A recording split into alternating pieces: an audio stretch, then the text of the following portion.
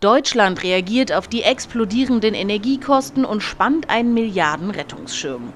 Damit sollen nicht nur Haushalte, sondern auch Unternehmen entlastet werden. Doch wie hoch ist dieser Rettungsschirm, wann kommt er und wie greift er?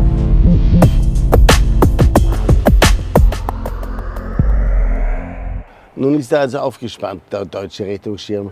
Nach langen Verhandlungen zwischen Bundesregierung und den Landesregierungen steht fest, dass Deutschland 200 Milliarden Euro in die Hand nehmen wird, um den Privathaushalten und der deutschen Industrie unter die Arme zu greifen.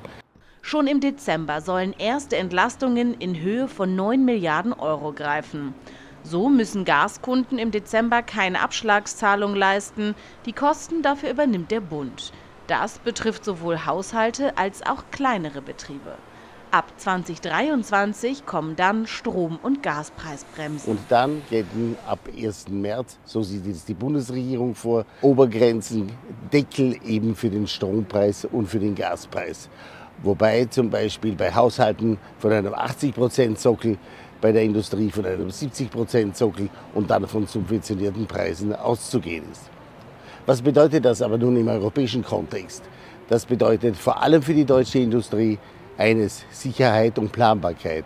Und das ist in Zeiten wie diesen natürlich sehr, sehr viel wert.